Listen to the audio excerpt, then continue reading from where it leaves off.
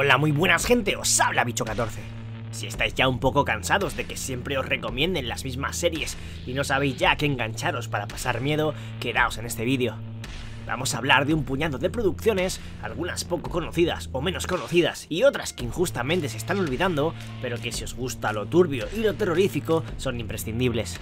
Algunas fijo que os suenan, incluso habéis visto, pero estoy seguro que otras os van a sorprender, así que dejadme en los comentarios en cuanto acabe el vídeo vuestras recomendaciones y si os molan las que aparecen en este top.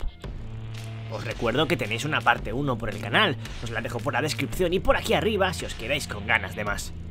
Dadle caña a ese botón de likes si querríais una parte 3 y os encanta hacer maratones de terror, e importante, suscribíos para no perderos nada id preparando las palomitas y el refresco gigante, y bienvenidos bichos a 7 series de terror poco conocidas que no os podéis perder.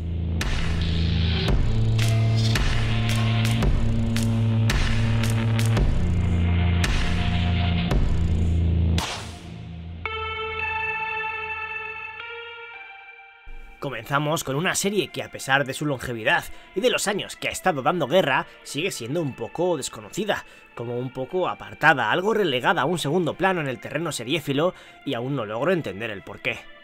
Creada por nada más y nada menos, pongámonos de pie, que por Guillermo del Toro, The Strain trae a la pantalla un extraño y peligroso virus, un avión, con todos sus pasajeros muertos en un escenario perturbador y desolador, es el pistoletazo de salida de una serie que guarda más sorpresas de las que imaginas, donde el sello del cineasta mexicano está presente, sobre todo en el diseño de producción y de personajes.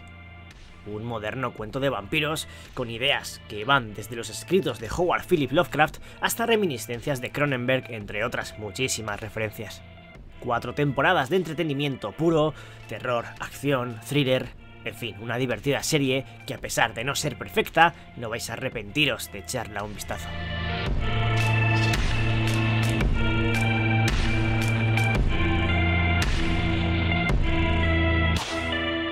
Seguro que la sinopsis de la miniserie de la que vamos a hablar a continuación os suena y es que la secuela de The Conjuring, o de Expediente Warren, toma como punto de partida un suceso real, uno de los casos de actividad paranormal más conocidos, y donde aquí, de manera más realista que en la cinta de James Wan, se nos cuenta. El caso Enfield nos lleva hasta los años 70, donde una familia comienza a verse atormentada por una serie de fenómenos inexplicables. Desde poltergeist que carecen de una lógica racional para intentar darle sentido, hasta extremos que nadie esperaba jamás presenciar. Prácticamente podríamos decir que es una película larga, pero increíblemente contada, que le traslada a ese Londres y a esa casa en la que algo oscuro está latiendo y está haciendo de todo una pesadilla. Grandes actuaciones, gran ambientación, una duración perfecta, son tres episodios, y momentos muy aterradores, de esos que da verdadero mal rollo pensar que pudiesen ocurrir realmente.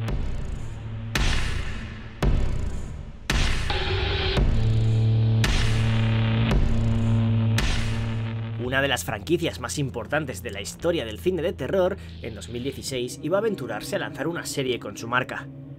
Movimiento quizás arriesgado, donde se retomaba el nombre más querido por los fans de las posesiones. Y a pesar de su poco reconocimiento, creo que estamos ante una serie soberbia. El exorcista, con dos temporadas, nos lleva tras los pasos de dos sacerdotes que se encargarán, básicamente, de luchar contra el mal y contra el diablo dos hombres totalmente diferentes, los cuales son una de las partes fundamentales de la ficción, gracias a su química en pantalla. Alfonso Herrera y Ben Daniels protagonizan una de las mejores propuestas, más intensas y más breves, todo hay que decirlo, de los últimos años. Aunque en principio estaba planeada una tercera temporada, la compra de Fox por parte de Disney paralizó todo, y poco o nada se sabe de una posible continuación. Dos historias muy diferentes, pero igual de intensas, con giros de trama y guiños a la película original. Para pasarlo en grande sin duda.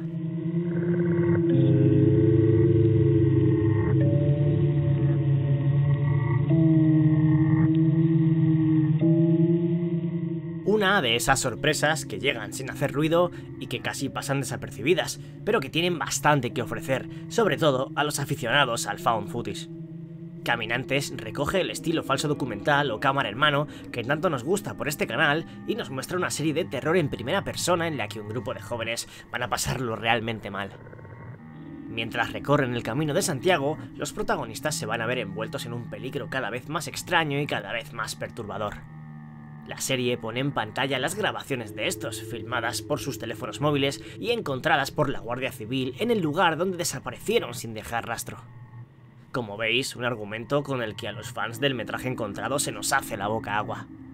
Ocho episodios de unos 15 o 20 minutos cada uno, o lo que es lo mismo, prácticamente una película larga. Genial y peculiar experiencia en el panorama series que se ve en una tarde y se deja mucho disfrutar.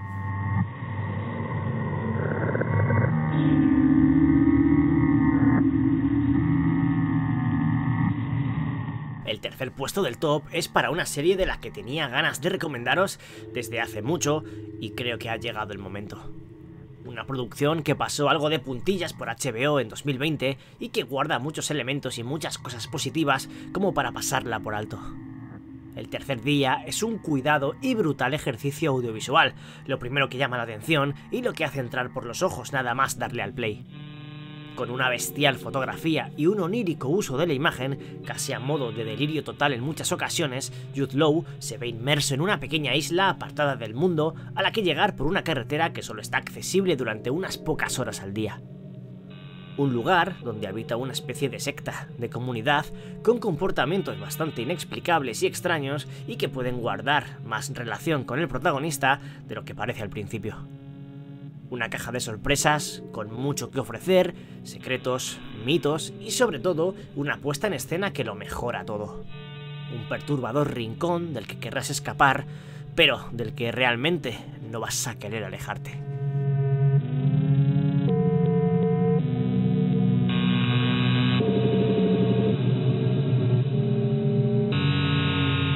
Seguimos en HBO, y esta vez para hablar de la creo más conocida de todo el top, una de las mejores series de 2020 y que a pesar de todo lo que en su momento fue alabada, creo que aún se merece mucho más. Hora de ponernos de pie para mencionar una adaptación del genuino Stephen King. El visitante es un thriller al más puro estilo Seven, donde una pareja de detectives investigan el asesinato de un niño de 11 años. Poco a poco, según va avanzando el caso, todo comienza a adquirir un tono bastante inexplicable, donde lo sobrenatural comienza a manifestarse y a girar lo que se creía cierto en la resolución del crimen. Se podría decir que dividida en dos partes muy diferenciadas por los acontecimientos que ocurren, la serie autoconclusiva de HBO tiene todo lo que requería una adaptación del relato, oscuridad, misterios, una atmósfera asfixiante y cerrada y un secreto cada vez más asombroso y fuera de los márgenes de lo racional.